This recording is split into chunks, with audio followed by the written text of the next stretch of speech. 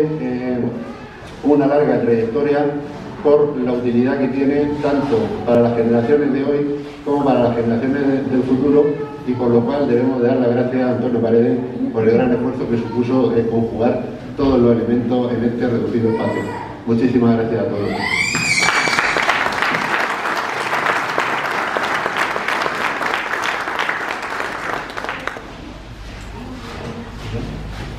Sí, buenas noches. Eh,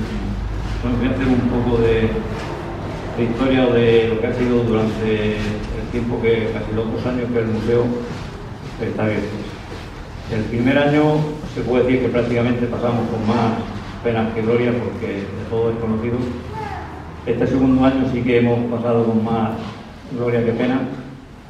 Fruto de eso es la cantidad de visitas que hemos tenido, visitas que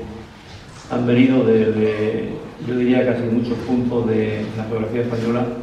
y muchas partes del extranjero. Y prueba de eso es el registro que tenemos de visitas. Hay un registro donde se puede ver toda la cantidad de personas que nos han visitado y aparte pues también decir las felicitaciones que hemos tenido de tanto de a nivel de aquí de, de España como a nivel de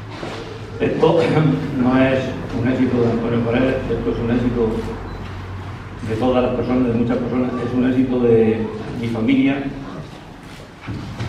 es un éxito de las personas que el día a día me, acompañan, me ayudan a poner el cuadro, a colocar una alfayata, es éxito también de todos los medios de comunicación, por supuesto de toda la corporación municipal y decir también que